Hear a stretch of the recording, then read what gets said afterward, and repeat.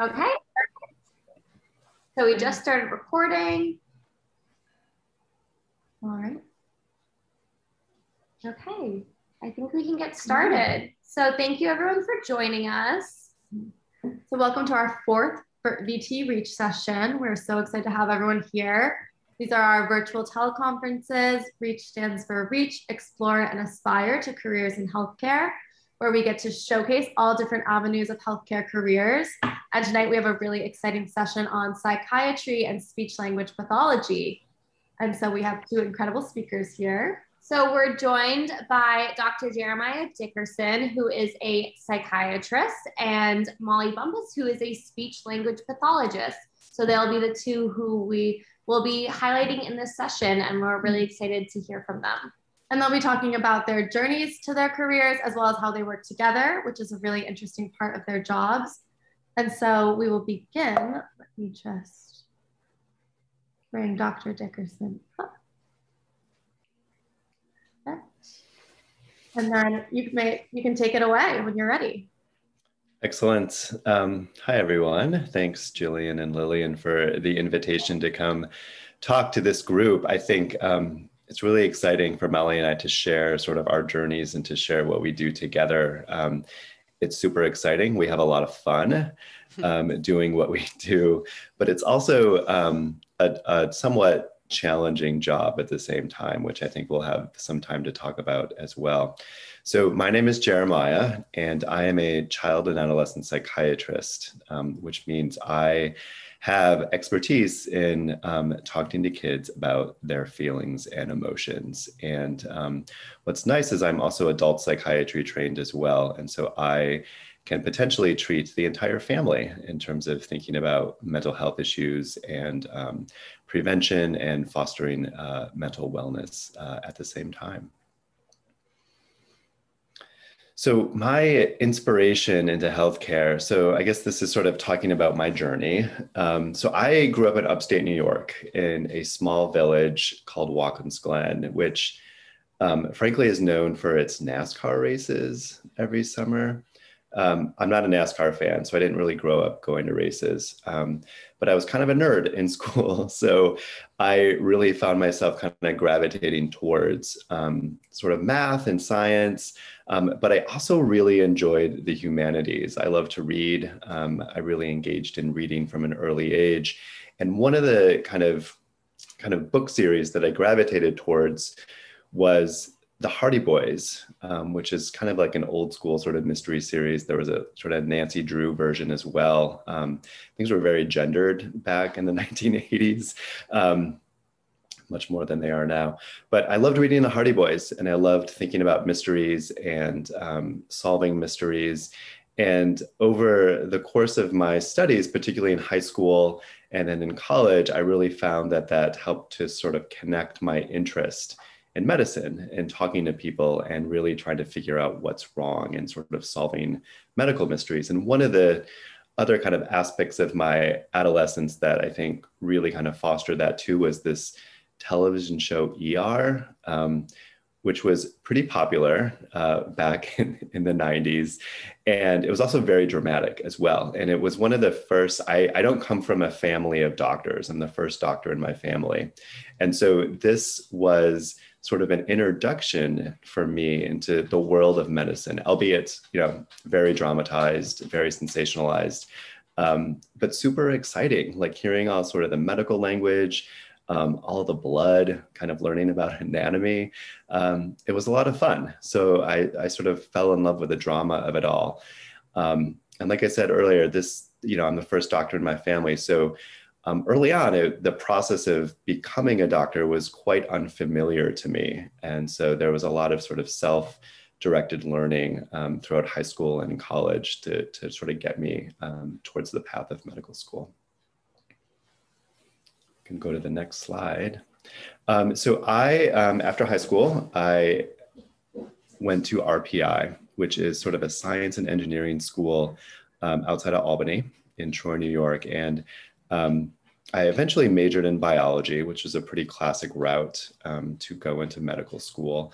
But I was also a, a, studio art minor. So it sort of captured um, both sides of my brain in terms of again really falling in love with the science um, and also like loving to draw and to paint and to do sculpture and to talk about art and continue to read books at the same time and I started off as an engineering major, um, but quickly found that it was not for me. It was too heavy science. And so I switched to bio um, and then became sort of more interested in sort of the interface between science and society, thinking about how medicine um, impacts people's lives and about marginalized communities, particularly um, the world of HIV AIDS. Um, and this was back in the late 90s and the early 2000s.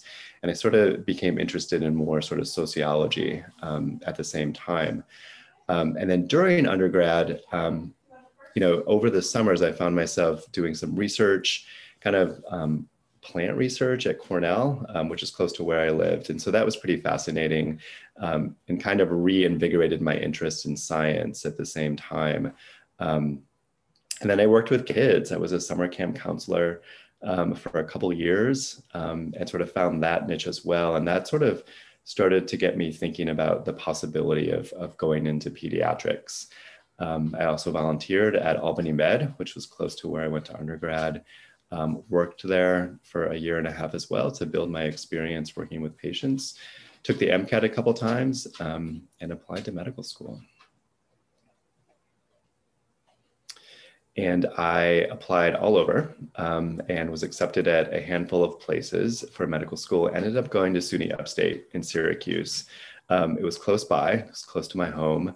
Um, but what really um, intrigued me about it was, frankly, the in state tuition offered by um, a SUNY school for a New York State resident. And I, I stand by that choice, even though you know we don't need to talk about my student loan debt, but um, it is something um, that a lot of us in the world of medicine deal with and manage um, and is in sort of the background um, for a long time for us because we pay a lot of money to go to school. But um, being able to go to a SUNY um, medical school really saved me a lot of money. Initially, like I said, I um, was considering um, sort of a path in pediatrics. I joined a lot of like pediatric interest groups, did a lot of volunteering on the peds wards, um, and really enjoyed it. And then in third year, when we start our clerkships, um, I did psychiatry early on. And like most medical students, I didn't have really any exposure to the world of psychiatry. It was a very, very foreign world to me, um, especially dealing with and seeing people who struggled with severe mental illness. Thinking about folks who have bipolar disorder, um, folks who have experienced a significant amount of trauma, um, people presenting with psychoses, um, schizophrenia. It was super overwhelming but also at the same time, very, very interesting to me, thinking about what is going on in these people's brains. Um, and so I thought, hmm, psychiatry might be um, something that I'm interested in. I never considered it before, but was still interested in pediatrics at the same time. I did a couple electives, um, one of which was in adolescent medicine, so working closely with teenagers. Um, I worked at a juvenile detention facility during medical school, um, did a rotation there. And sort of over time uh, was able to combine my interests and learned about the world of child psychiatry thinking about pediatrics adolescent medicine um, and working with folks who um, are struggling with mental health issues. So i ended up graduating medical school and um, matched here at uvm for my adult psychiatry residency.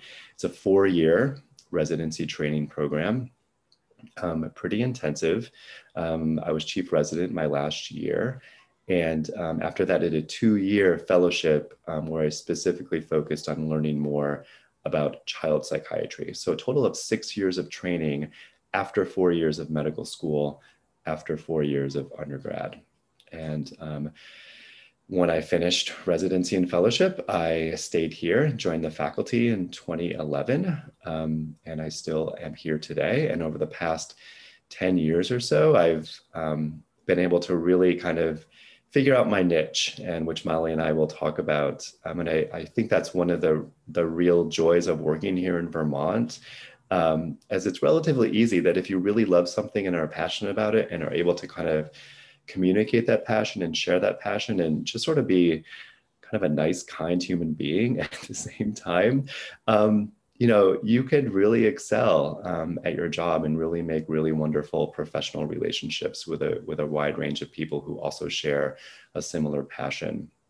Um, and I find psychiatry is just sort of the perfect blend for me of thinking about science and the humanities and sort of the power of connection and the importance of relationships um, and also thinking about sort of the world of social determinants of mental health and health equity and the role that plays um, in the patients that we see. So it's a really exciting time to be in psychiatry. I think we deal with the brain, right, which is one of the most, or the most, arguably the most complicated organ in the human body. Um, and there's so much more we need to, we, we don't know. Um, and so it really is an exciting time to kind of be interested in neuroscience and psychiatry and um, sort of the humanistic side of, of mental health at the same time. So this is sort of what I do. Um, this is how I spend my time. So 50% of my time I get to work with Molly. Um, we actually, I feel like we work more than 50% of our time together um, just because we love to hang out and have fun. But we do autism diagnostic evaluation. So my clinical work is focused on autism. Um, and I also see a fair number of outpatients of all ages, ranging from the age of two or three up into the age of like 65 or 70, um, seeing folks who are um, presenting with mental health issues. Um, I previously spent some time at Woodside as their consulting psychiatrist. Um, and one of the things I love about psychiatry is just the range of patients that I get to see and the range of people that I get to work with. We're often consulting with schools, which is really great to build those relationships. Um, and some of my outpatient work has been highly focused on engaging with families who um, have children who are um, transgender or gender nonconforming and being a part of that world and a part of those um, kids and teenagers' journeys um, and exploring their, their gender identity has been really, really um, an incredible privilege to be a part of, frankly. So that's 50% of my time, which is mainly focused on clinical work. The other 50% of my time is I get to teach. So I direct the medical student education in psychiatry. I oversee the psychiatry clerkship, which is a required rotation that all students have to take as they get exposure to psychiatry. I do a lot of mentoring and advising of both medical students, undergrads, residents, and fellows. Um, and then I, I teach specifically in, in, certain courses in the medical school as well the medical neuroscience course, um, the human development course, um, I teach an elective in graphic medicine where we read graphic novels and talk about how those graphic novels depict psychiatry.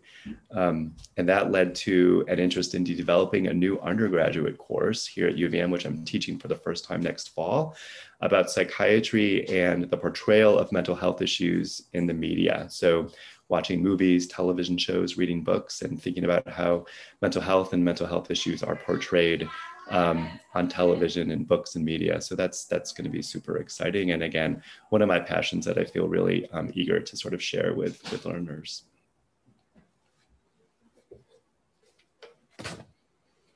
Work-life balance. Oh man. Um, I think we have a pretty decent work-life balance in the world of psychiatry. Uh, I am also married to a psychiatrist, so we are a two physician family, which um, can sort of make work life balance a little complicated. We have um, two relatively young children who are finishing the third grade, going to be entering fourth grade. And so it is kind of tricky to um, balance work life, home life. Um, but I feel like my job here at UVM and my wife's job um, allow us to do that. Um, we have help though.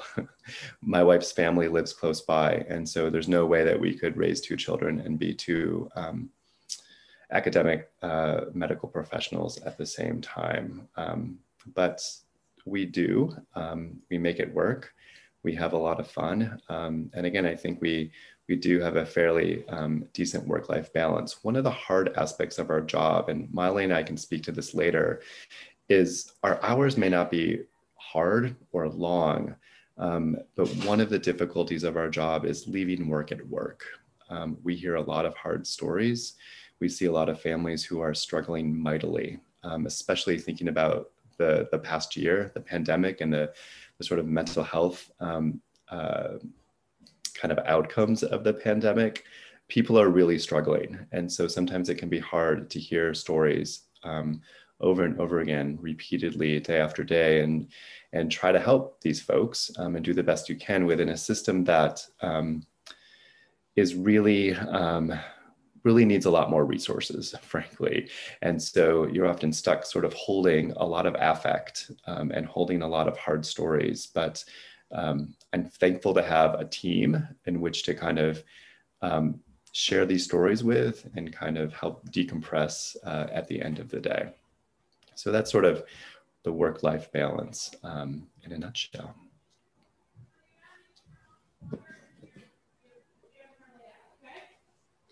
Great. Thank you so much, Dr. Dickinson. And just a reminder, we'll have time to put any questions into the chat. Um, and so now we will introduce Molly Bumpas, who is a speech language pathologist, and she can take it away. Thank you, Jillian. Um, hi, my name is Molly, and uh, I am a speech language pathologist. Um, I have a lot of strange looking letters after my name, so I can kind of explain what those are.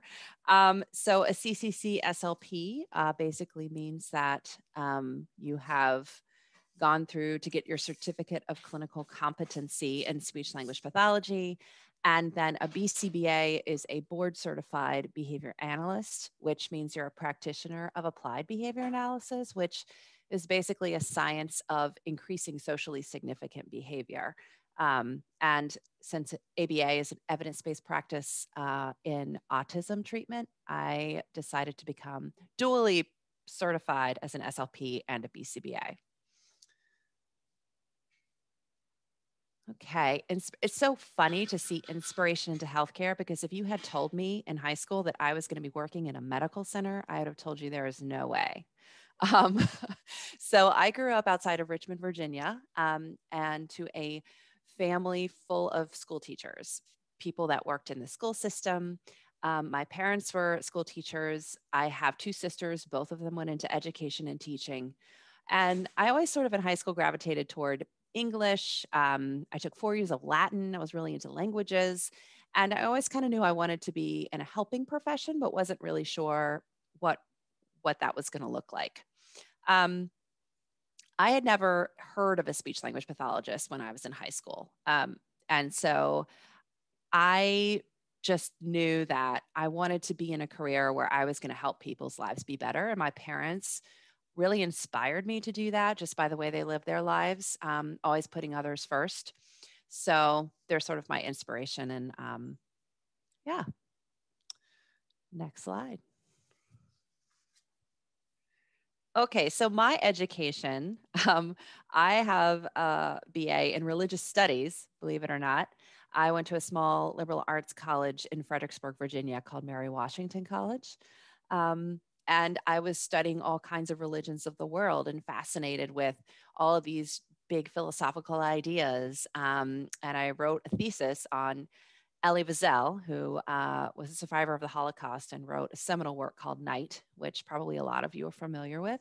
He had a big impact on me, and his writings did. And I ended up writing a thesis about the inextricable fates of God and man through the good times and the bad, that there was a link. Um, like Jeremiah, I also was a summer camp counselor and, and really enjoyed being with children.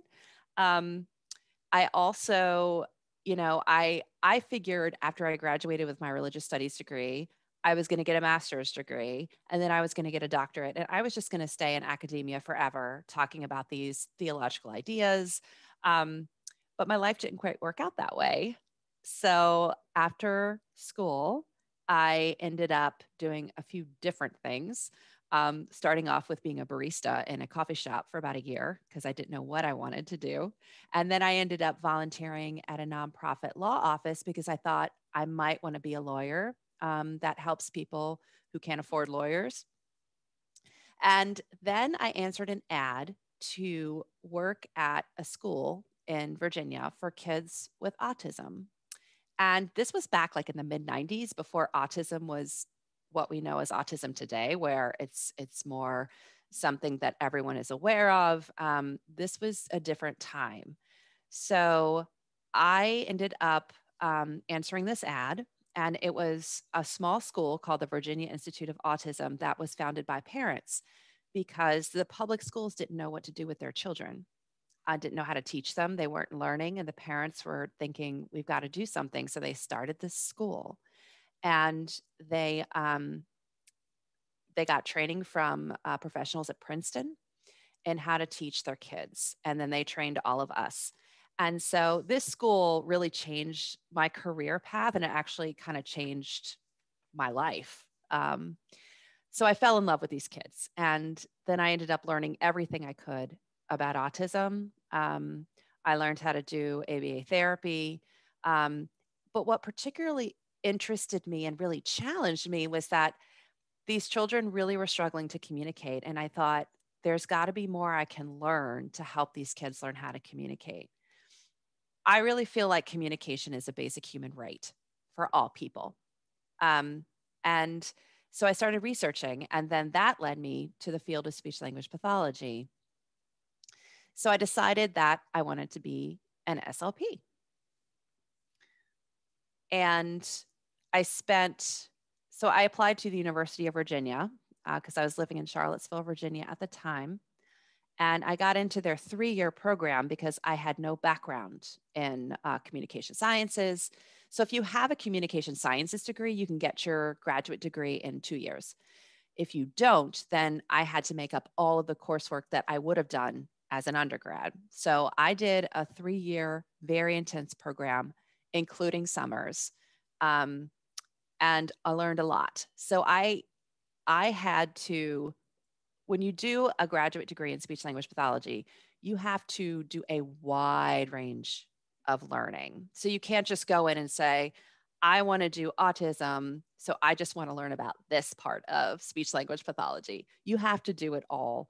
So I learned about language disorders, speech sound disorders, motor speech disorders, voice disorders, swallowing and feeding disorders, stuttering, um, traumatic brain injury. It, the list goes on and on. Um, so it was a bit overwhelming because it was a lot of material to cover, but it was also very interesting. And I learned something.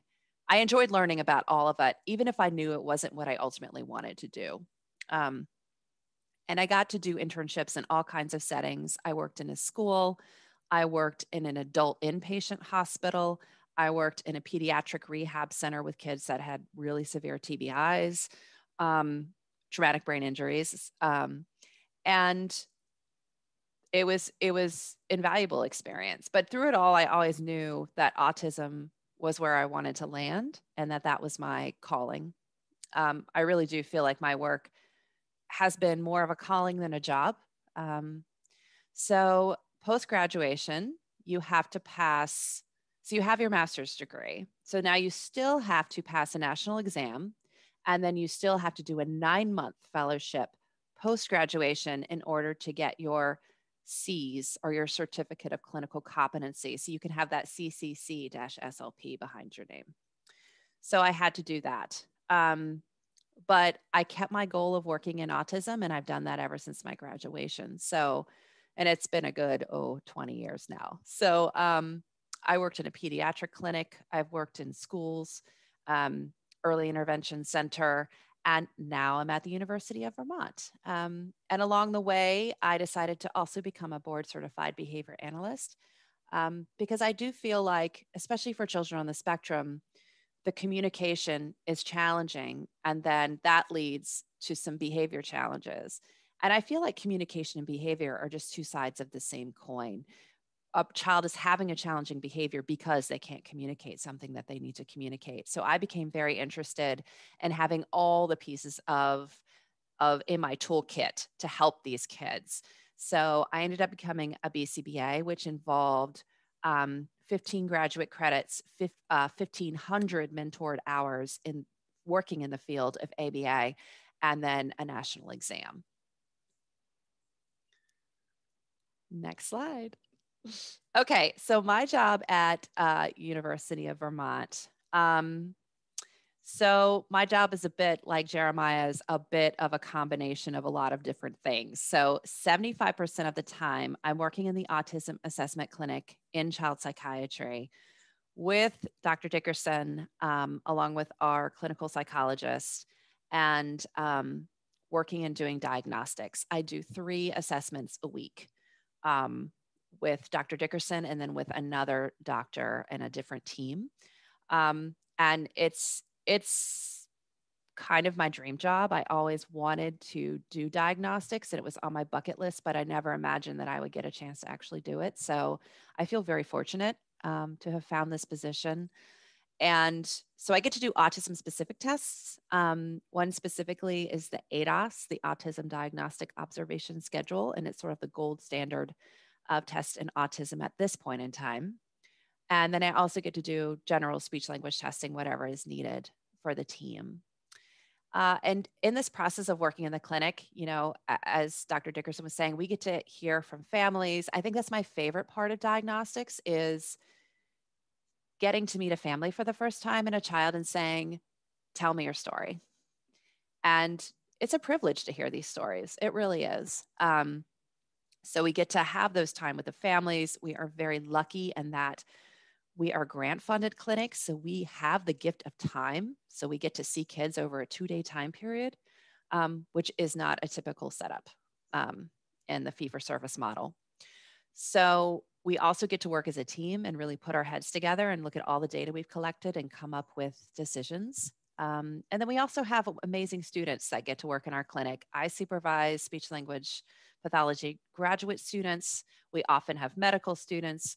We sometimes have psychiatry fellows. So we have a lot of learners in our clinic, which I think keeps us inspired and keeps us really um, wanting to be the best that we can be. So it's it, it's a really exciting environment. And then 20% of my time, I'm running a parent training program for families with newly diagnosed toddlers with autism, um, which is wonderful because I still get to have my foot in treatment a little bit, um, which which is which is a good thing. And then the other five percent of my time, um, I'm doing general faculty things for the Communication Sciences and Disorders program, um, supervising other students in our on-campus speech language and hearing clinic.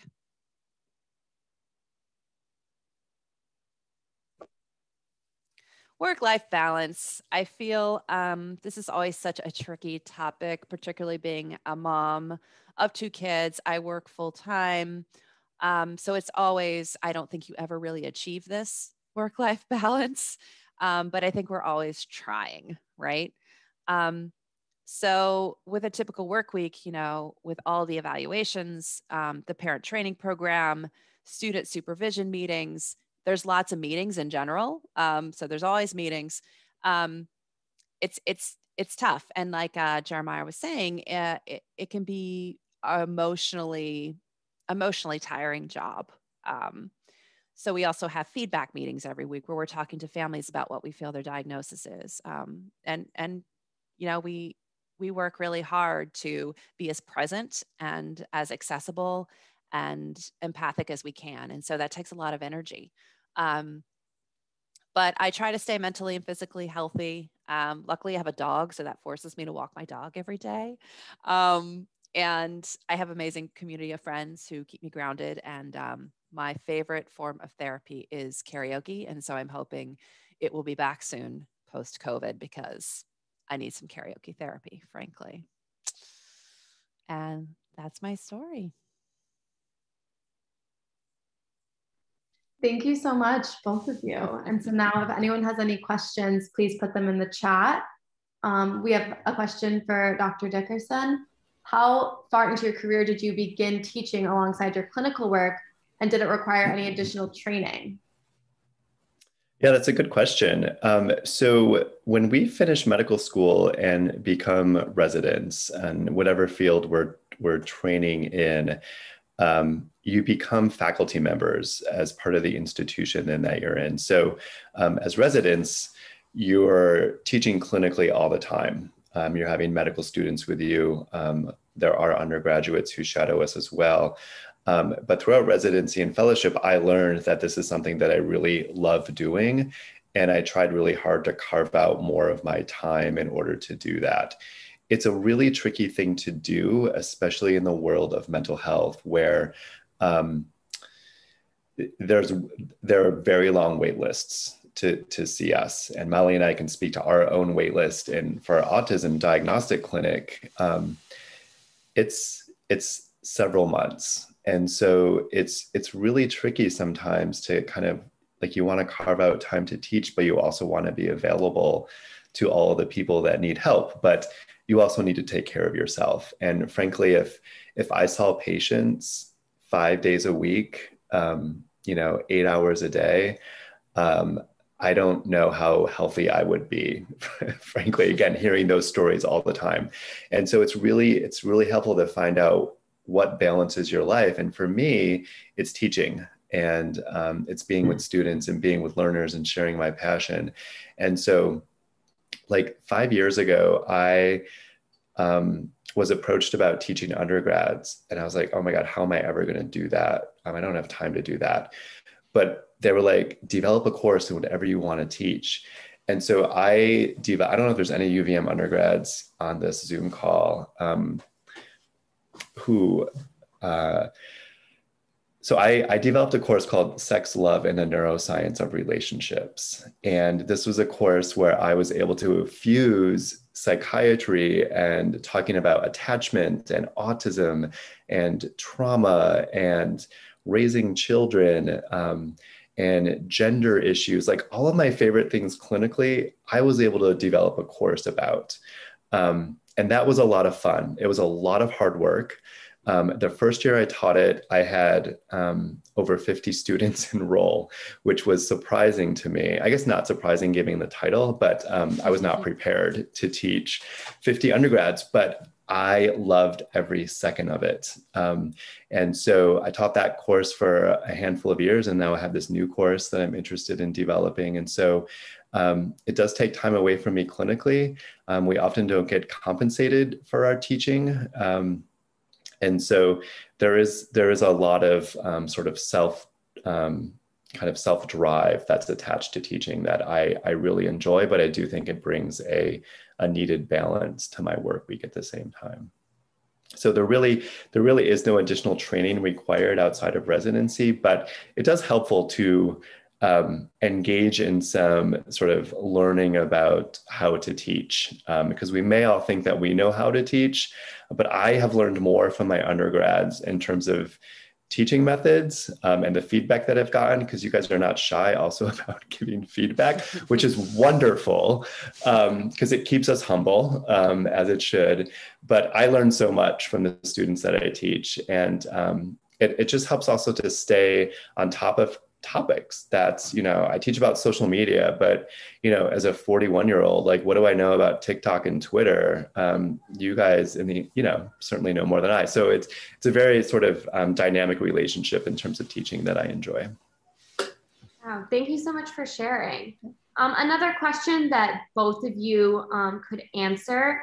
You both kind of had this unique portion of your undergraduate studies Dr. Dickerson, you saying you had a minor in studio art, and Molly, you saying that your major was in religious studies. Have you felt that those two, you know, those studies or that aspect of your education has helped with your now career in healthcare in any way, shape, or form?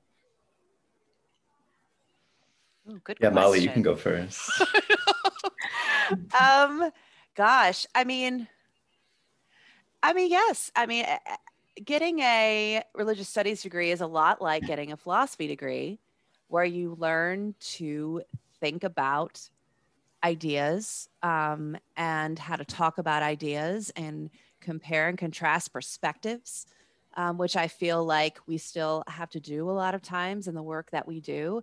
Um, how to hold these two things that are both true at the same time and be able to have the nuance to handle that, right?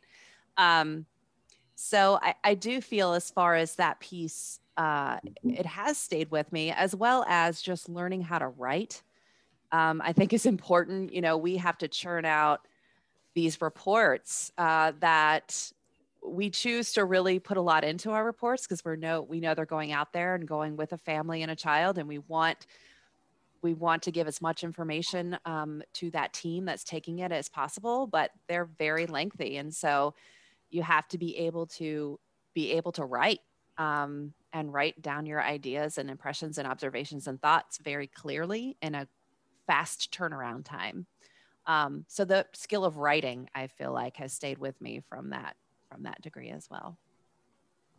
Yeah, I would I would echo what Molly said. I think a couple things come to mind in terms of thinking about art and the humanities in medicine. And this is, again, this is sort of a, a hot topic for me because I, I do think we need to focus more on bringing the humanities into medical education. Um, and as you guys may know, like a lot of medical schools are looking for students who may not have majored in biology. Certainly, you're taking the prereqs, right, in order to kind of meet the requirements to apply to a school of medicine. But um, we're looking for learners who are creative. And for me, um, having a focus in art um, fostered that creativity in me. And I think that helps, especially in psychiatry, where there's a lot of gray. Um, you know, our we don't have we can't put people yet in a MRI machine and scan their brain and determine whether or not they're struggling with depression or determine sort of how severe their anxiety is. Where we get our information is by talking to people and actively listening to people. And I think that's a skill. And I think that's a skill that sometimes comes from studying the arts and studying the humanities, because it allows you to appreciate the nuance of something. Um, you're looking at something, you're asked to describe something. Um, and also, it allows you to appreciate the ambiguity of, of something that there may not be a right answer, there may not be a wrong answer, but how do you sit with that and how do you feel comfortable with that? Um, and also in psychiatry, we talk a lot about emotions, and um, there's not a lot of talk about emotions outside of psychiatry in the world of medicine. Um, and I could talk for hours about this and how that impacts like student wellness. Like medical students are expected to kind of be at the top of their game during like the what could be like the four hardest years of their life, right? And that's a tricky balance to strike. And so I think having an interest in arts and the humanities really helps to temper that and kind of build that balance. Um, and there's also evidence that that studying arts and humanities fosters empathy. It allows you to empathize with other people in a much more natural way. Um, and then there's research to say that when you're in medical school, empathy actually declines the further you get in medical training. And so um, it's just an interesting kind of dynamic to think about. What is it about training that for those of us in who are studying to be doctors, like we get less empathic over time? Um, and so using the humanities to kind of um, limit burnout, I think is really important. And I've started bringing my clerkship students who are rotating in psychiatry. We spend a couple hours at the Fleming Museum. So they're taken off their clinical rotations we go to the Fleming Museum. We spend a couple hours looking at art. Um, and we have this wonderful museum educator who works with us. And just allows like some reflection. Um, and what's what's my favorite part about that is students who have no interest in art um, come to that session and they they give really tremendous feedback. Like, wow, I I've never spent more than ten minutes in an art museum, and here I am spending an hour and a half looking at one single painting. This was really cool, and you get to hear your classmates comment on it and reflect on things. And so I do think there's there's something to be said about um, sort of unconventional backgrounds um, leading into the world of, of clinical work.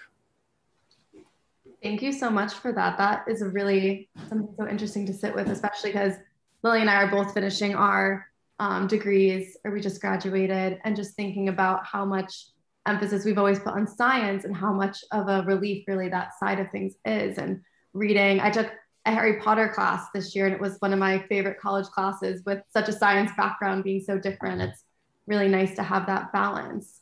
We have another question from the chat. Um, it says that I read that the autism diagnosis for females is more difficult than it is for males because the standards were written based on the presentation in males.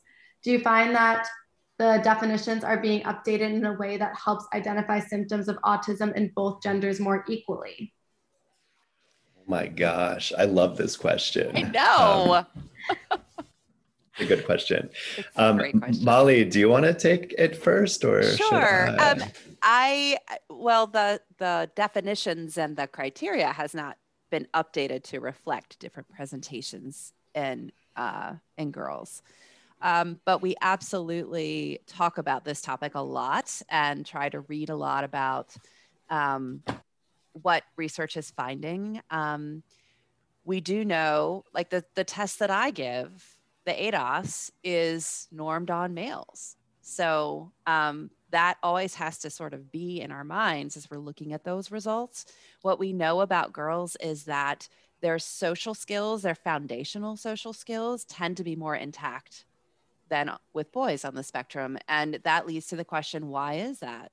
Is there some sort of protective genetic factor that girls have with this? Or is it our culture expecting girls to have more of that skill than boys? Um, so these are all questions that that we wrestle with. And um, you know, I've had the privilege of seeing a lot of teenage girls come into the clinic um, asking their own questions about this and self-referring and saying, I feel like something is different. I feel like I may have autism. Um, and they've gone their whole lives up until 16, 17 years old.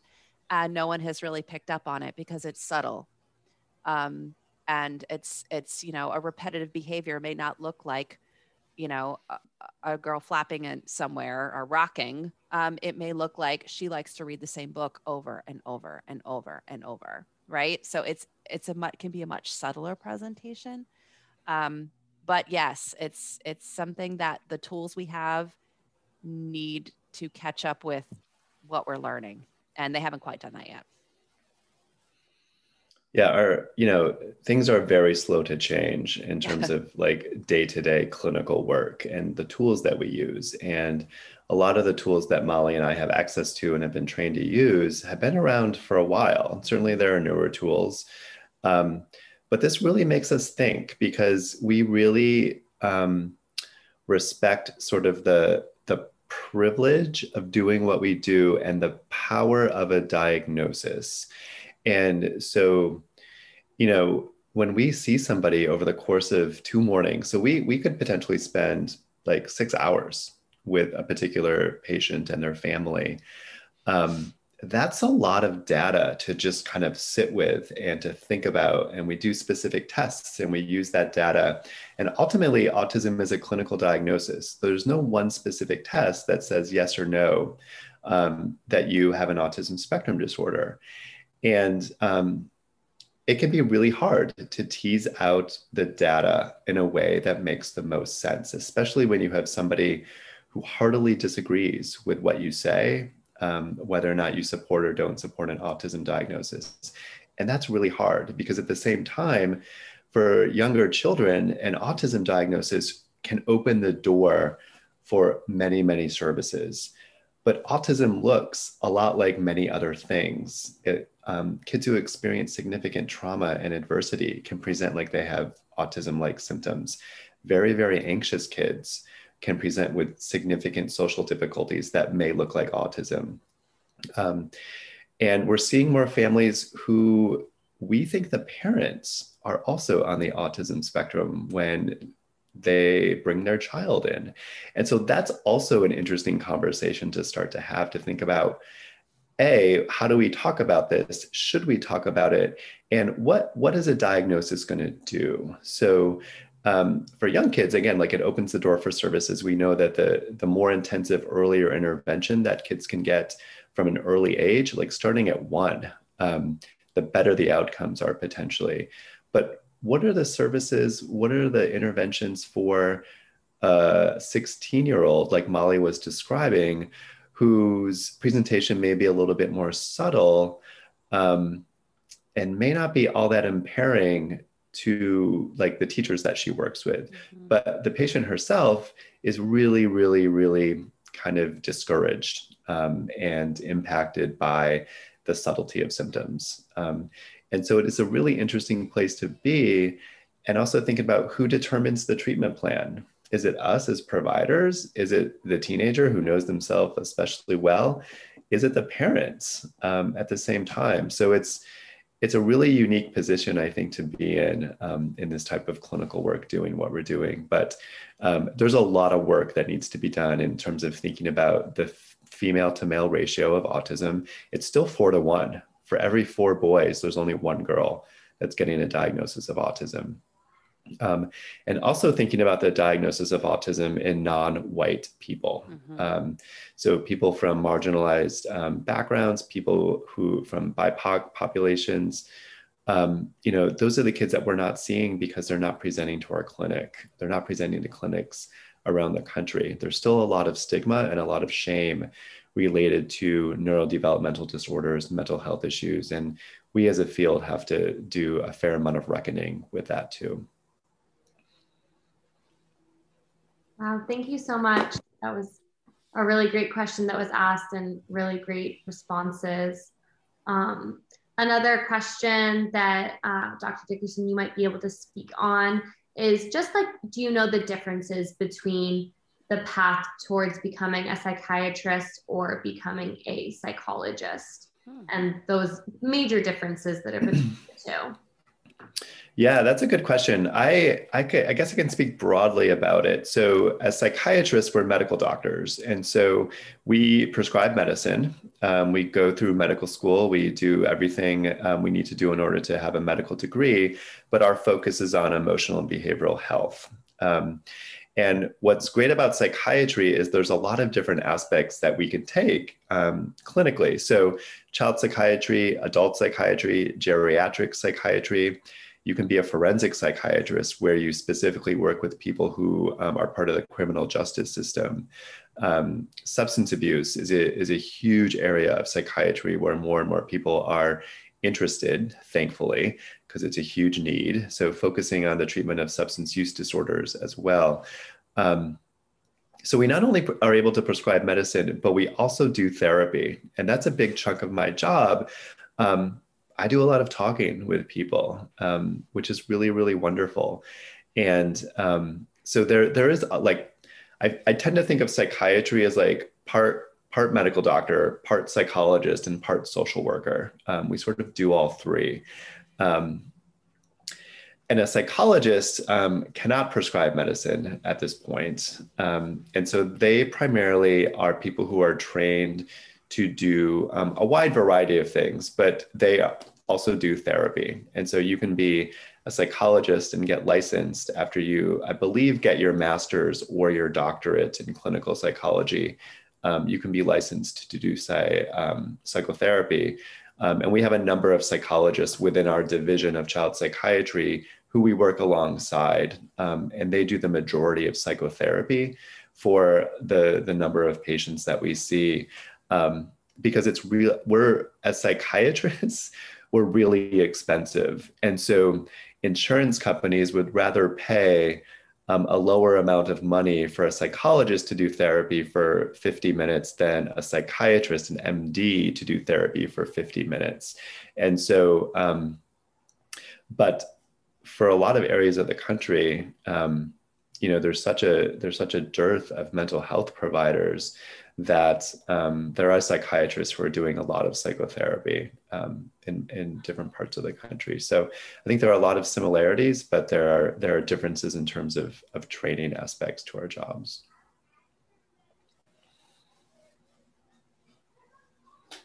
Thank you.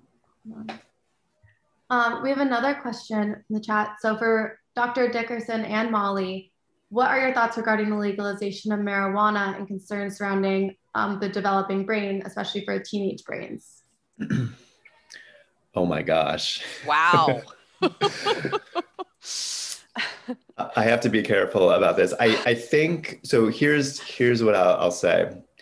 Um, there are probably a lot of people out there, adolescents, adults, who are able to use marijuana, and um, they benefit from that. It does something positive for them. Um, there are also a number of people, teenagers and adults, who smoke marijuana or use it, use cannabis other ways, um, and use a lot of it. And it really, really does affect their brain, and it is a potent risk factor for the development of a range of mental health issues. Those are the patients that I see. So my my world is a bit biased because when I go to the emergency room and see a 19 year old um, who's presenting with hallucinations for the first time and gathering a history from their parents, they're reporting that he's been smoking increasing amounts of pot for the last five years.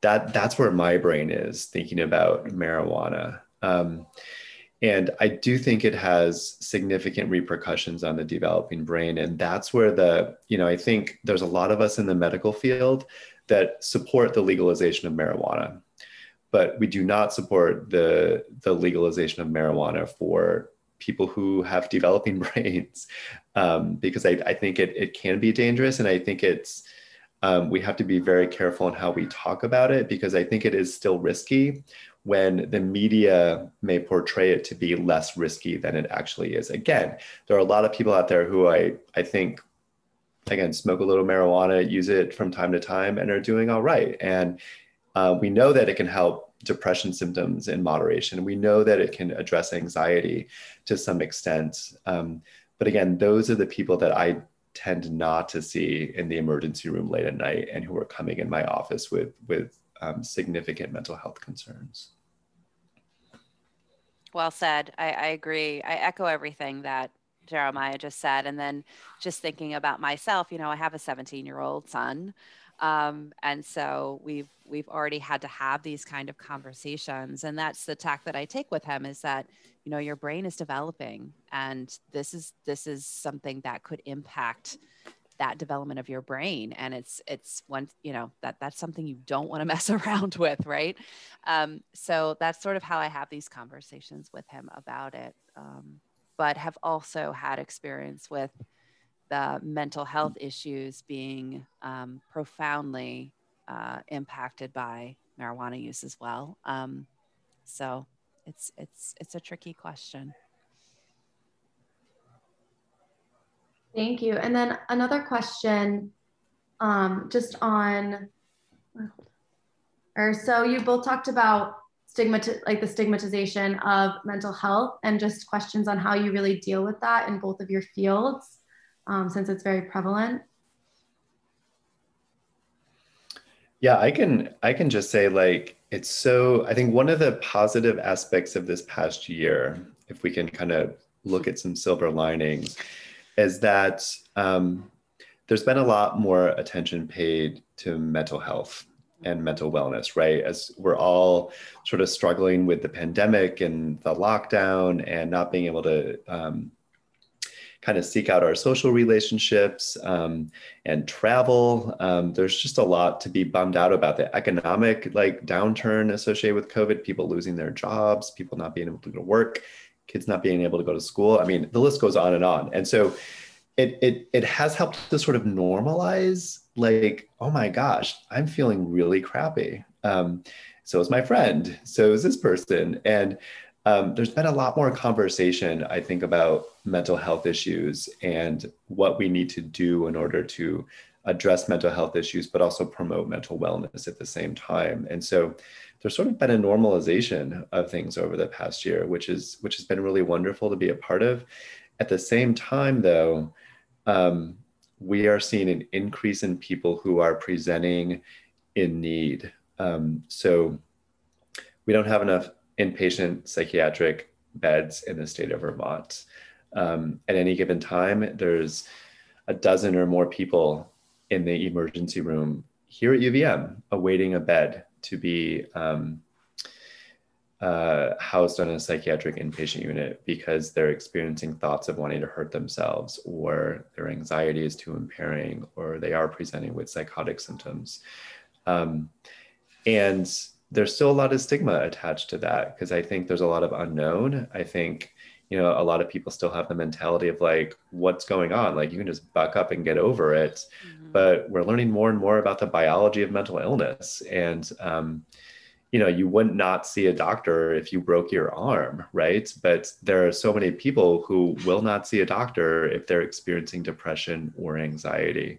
And we have to do a much better job at figuring out how we can um, continue to sort of dispel the myths and think about the stigma that's attached to mental health issues. There recently on Apple TV, I don't know if any of you saw the the documentary series um, "The Me You Cannot See." I think that was the name of it, Molly, right? Yeah. Mm-hmm. Um, produced by Oprah Winfrey and um, Prince Harry, and um, it was a really wonderful kind of, I think it's like four or five episodes, like really taking a deep dive into the world of mental illness and um, kind of really taking a look at the stigma and the fact and fiction of people who are struggling and having celebrities like Lady Gaga talk about her past trauma and um, seeking help. And I think the more, again, that we're able to talk about it and sort of normalize it, hopefully over time, the less stigmatizing it, it will be. Wow. Yeah, that's really great. And Molly, I don't know if you want to contribute anything as well. I mean, Jeremiah is so eloquent in how he answers these questions. It's hard to follow him. Um, but I would just say I have noticed over the past year um, with the graduate students and the struggles, um, the mental health struggles that a lot of our students are experiencing, um, some for the first time, has been um, just really significant um, and trying to you know check in and make sure that they're get, getting the support that they need um, has been a big part of what we as faculty have been trying to figure out how to do and how to do well. Um, because just losing that that normalcy and just being in the room with other people where you can have that real human connection um, is is is significant and impacts all of us.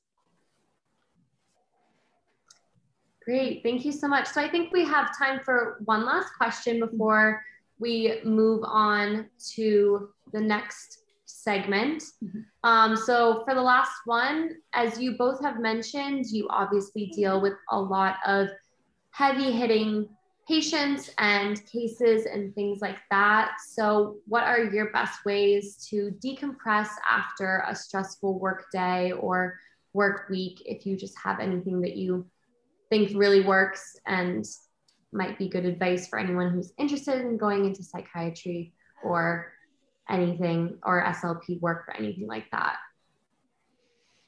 Uh, for me, I think it's one thing I've learned is that I literally have to get the stress out of my body.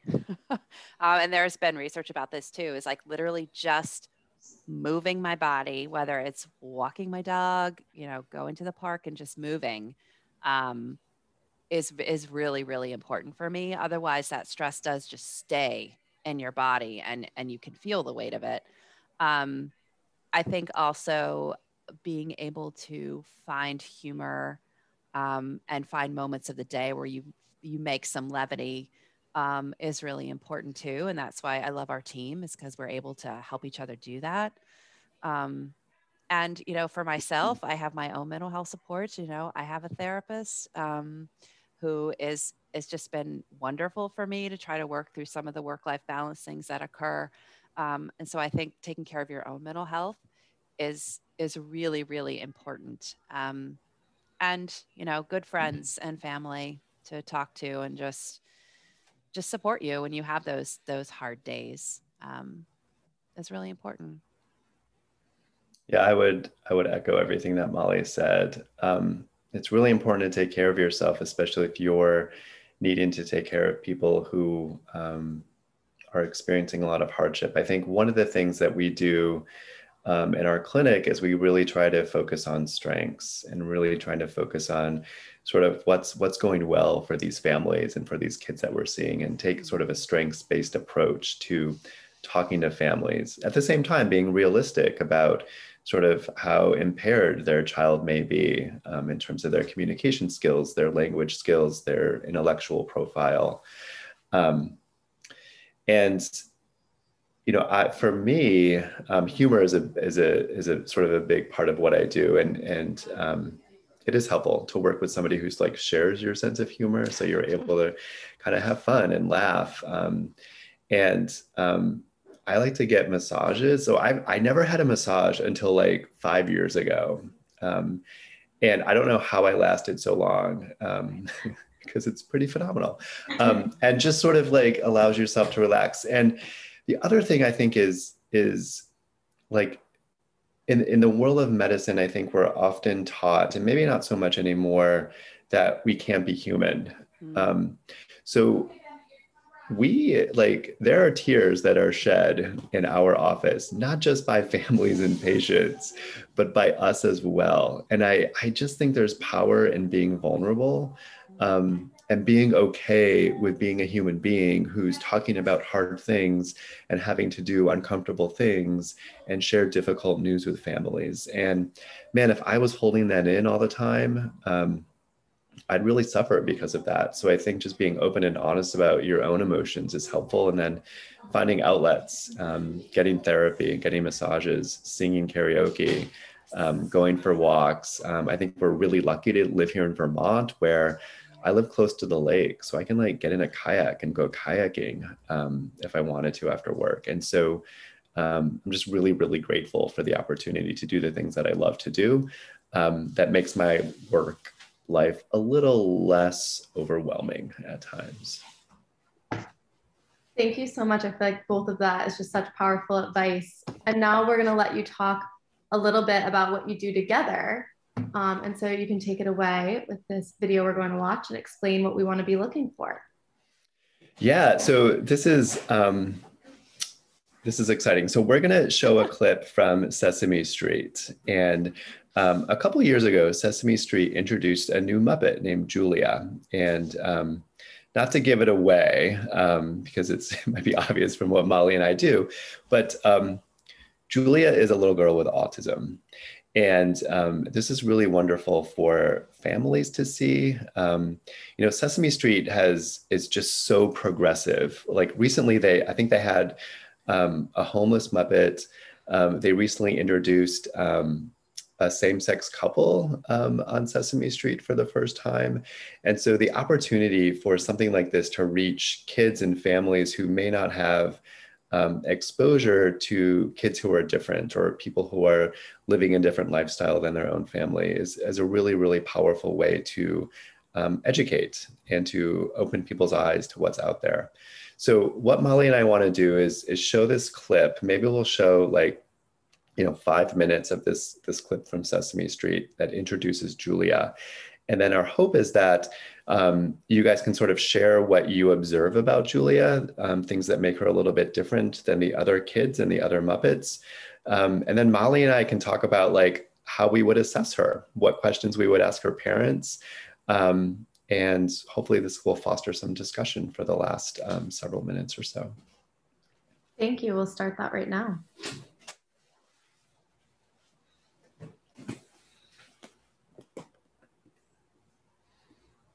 I don't think we can hear it, Jillian.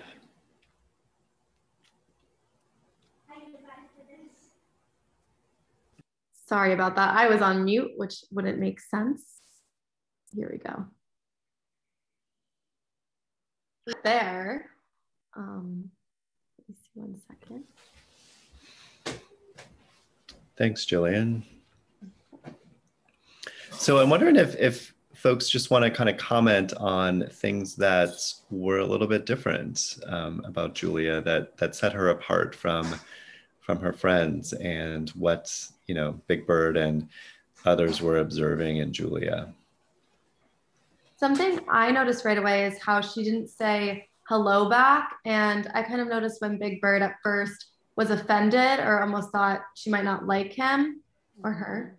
Um, and just like that kind of dynamic. Absolutely. Yeah, sort of the responsiveness of Julia was a little different. Yeah, then I think she, you know she's probably what about four four years old. Um, so you'd expect some some interaction um, from her that she didn't um, display upon introduction. Um, I also noticed that uh, Julia would rep- repeat words or sounds um, multiple times. Um, that she was doing that a lot just throughout that video. Absolutely. And there's the clinical term for that is echolalia, when someone repeats words that they've heard other people say. So she was doing quite a bit of that. We also noticed that the sounds would really overstimulate her. Um, so when the mm. siren came on, that was almost a trigger. Yeah, so there's a lot of kids who um, have autism and a lot of kids who frankly don't have autism who have a lot of sensory sensitivities, whether it's to loud noises, um, bright lights, um, textures, um, tastes of food um, may aversive. And then we also see kids who um, have sensory interests. So kids who are really into sort of the feel of something or the taste of something um, or certain lights or certain noises that really attract them at the same time. And we noticed too that she had an attachment um, to her stuffed animal, and that was something that really calmed her down. Yes, we often yeah. find um, with kids that they can um, become very fixated on objects. And so there may be an object. Um, so we met a boy this week who comes in with his three cars um, every day, the same three cars, and has to carry them with him wherever he goes. So um, there, there can be that attachment to objects, which you might see in really young kids, but at this point in time, um, you don't typically see that in a child of four. Yeah, one of one of the aspects of of doing what we do is we really have to try to figure out what's what what would be developmentally appropriate for a kid this age and wouldn't warrant a diagnosis or wouldn't be necessarily out of the ordinary or all that atypical versus you know thinking about um, what would be considered developmentally atypical um, for a child this age. And sometimes that's really tricky to tease apart because, like I said, a lot of kids have sensory sensitivities. Mm. Like Molly alluded to, there are a lot of kids who have objects that they carry around a lot. It's perfectly normal. Um, and there are a lot of kids who repeat words um, at the same time, repeat things they've heard from television shows or funny things that their parents have said. And so it takes a little investigating to really sort of tease out um, some of those behaviors. And this kind of goes into a question I had, but so how would you approach the conversation with a child like Julia's family in a diagnosis setting or in the autism clinic, like you talked about? Yeah, so we would um, we would do a couple things. One is we would sit down with the family, um, mom or dad, just mom, just dad. Um, we often see grandparents. Mm-hmm. We often have like teachers join us also for our evaluations, which is really, really wonderful. Um, and we would try to get a really thorough history about when people started to have concerns about Julia, because um, autism is a neurodevelopmental disorder. So, what that means is that um, symptoms are likely to be seen within the first sort of year to two years of life. Um, and then those, those symptoms, those behaviors may um, kind of evolve over time and sort of wax and wane in intensity. But part of our job is to sort of um, figure that out, to, to kind of put a timeline together in terms of what people are seeing. Um, we do know that a lot of kids with autism may not play games like peekaboo when they're one and a half years old. And, and that's a pretty um, typical game that a lot of kids engage in pretty naturally. We ask about eye contact from an early age. Like when you called Julia's name around the age of one, did she look at you? Um, when you walked into a room, did she turn to notice you? Um, so part of my job is to really dig deep in terms of that developmental history and get a good sense of sort of the, the trajectory of Julia. Um, and also figure out what she's good at, like where her strengths are, um, what her parents really love about her, um, what do they celebrate about her? Because part of our job, again, is to really foster that um, as well. So I, I talk to parents and I get a history. Um, and we also get to play um, yeah. with these kids as well, which is a really fantastic part of my job. I'm on the ground like half of the day playing with Legos, um, which is pretty fantastic. Um, and then Molly would would engage Julia in some specific testing with her mom or dad. Mm-hmm right? Where we would look at um, really early social communication skills like responding to her name or does she give objects to other people? Does she show objects to other people? Does she point out things just for the sake of showing it to you when she doesn't want anything?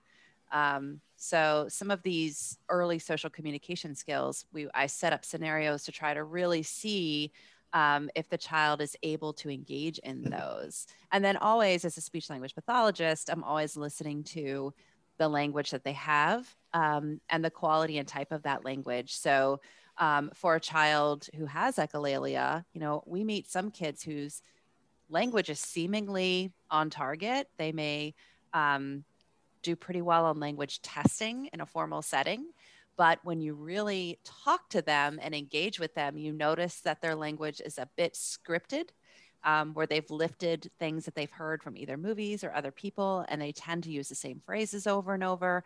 And they have a hard time with social reciprocity. So that, like, back and forth of conversation, that engagement, that my turn, your turn, and we're sharing this together, and it's an equal uh, situation. So, um, there's lots of social communication and speech language things that we're looking for. And then the other piece of the autism diagnosis is the restricted and repetitive behaviors, which for Julia um, would be the motor behaviors that she presents with. So the flapping, the bouncing, um, those specific things that we're looking for and need to ask parents about what they see at home. Thank you so much. And then, um, just anyone has a final question, they're welcome to put it in the chat. We just have really time, uh, one or two minutes, and then we'll have we'll be having Shubi speak on the Med Mentor program really quickly. Um, but I just want to ask you guys, or thank you so much for being here, and just ask you to share what you really love about your job because you do seem like you have these incredible jobs where you get to work with really, really fantastic children and their families. And so if you could just say your favorite part of that, if there is even one. That's but. hard. That that's hard. Um, I would say the big the thing that brings me the most joy is getting to meet the families and the kids, hearing their stories, and being able to work with a colleague who shares my passion and my commitment to um, to the human bringing the humanity to this whole process for families. Um, that's really a joy and that's something you find every day. So I'm very grateful for that and for Jeremiah. Wow. oh man, um, I'm grateful as well for Molly. I, I, think we have we have an amazing team. We are working within a setting that allows us to do our job and do it well. That the luxury of time, like Molly alluded to, yeah. is just such. Uh, we're we're just so grateful to have the time to spend with families, and they're grateful for that as well. Um, and we get to meet people coming from all over the state of Vermont, um, families that I would never meet otherwise. We get to hear such interesting stories. Um, and again, being part of a family's journey and to see their kid um, get services and demonstrate improvements um, is really, really wonderful. So um, we're, we're both, I think, really grateful to be able to do what we do.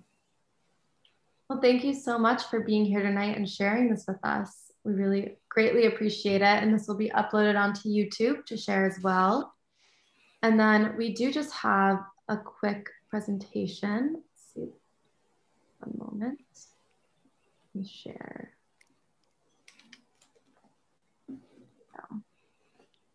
Yes, and so we're joined by a um, medical student at the Larner College of Medicine at University of Vermont who just completed his first year um, his name is Shubi, and he is going to be speaking on this program tonight. And so you can take it away, Shubi. Awesome. Thank you so much, uh, Jillian and Lily, for having me here. Uh, again, thank you so much, uh, Molly and uh, Dr. Dickerson. Uh, actually, it's funny because we just uh, had the psychiatry course uh, in our first year, um, just our last block. Um, and so Dr. Dickerson provided many of the lectures. Um, so it was nice to see you again here. Um, and yeah, so basically, once again, officially Shubhankar Joshi, but everyone calls me Shubi. And um, my colleague, a classmate, Natalie Bales, is actually in um, halfway across the world right now doing research. So uh, tonight you'll only have me to talk about our program here. And it's called the Medical Education Directive. So basically, uh, what we're trying to do um, here, actually, uh, maybe we can advance the slide and then we'll get into it.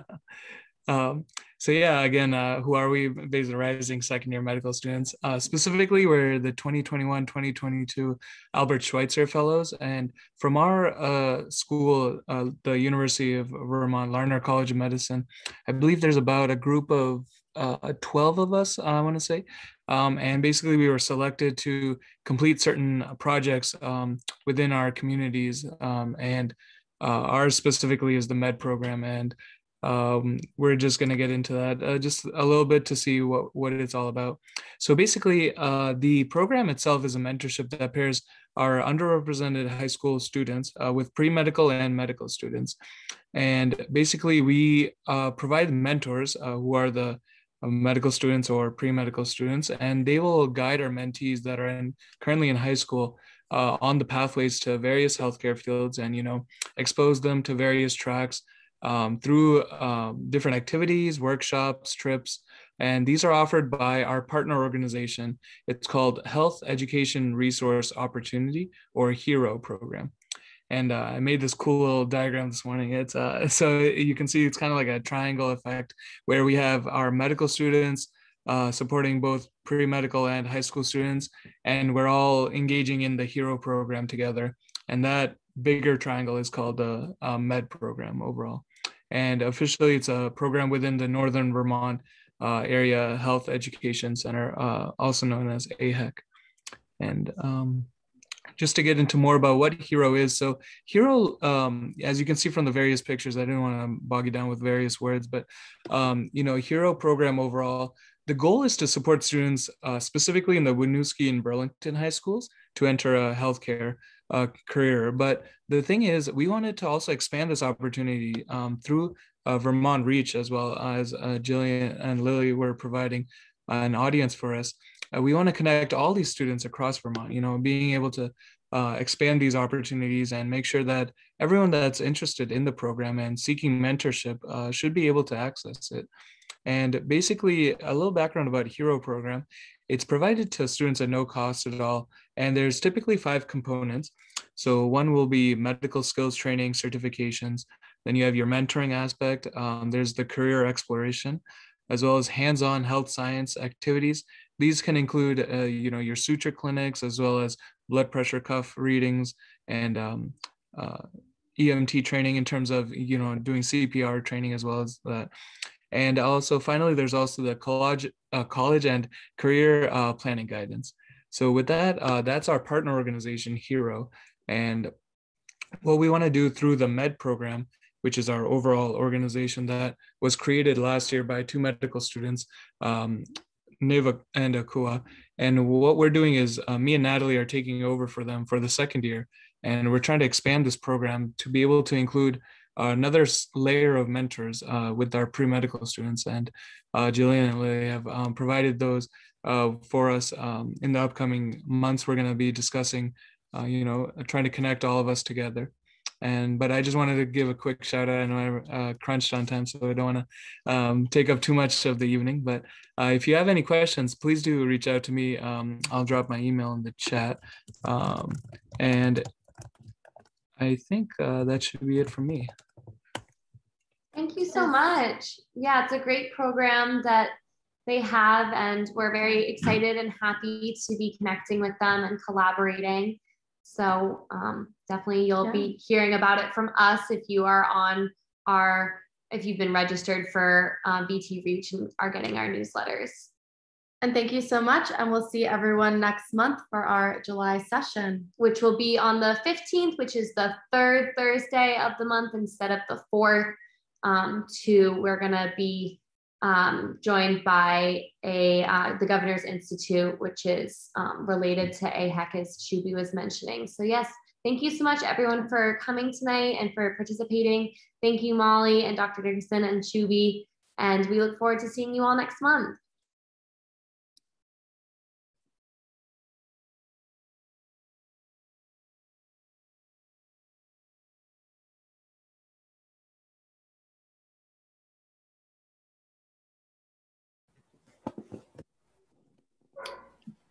Jeremiah, that was amazing. Thanks for having us. Oh my gosh, it was just like beautifully choreographed. it was like as if you had, you know, practiced it um, over and over again. It was like there was no practice. Um, I, I think it speaks to like Molly and I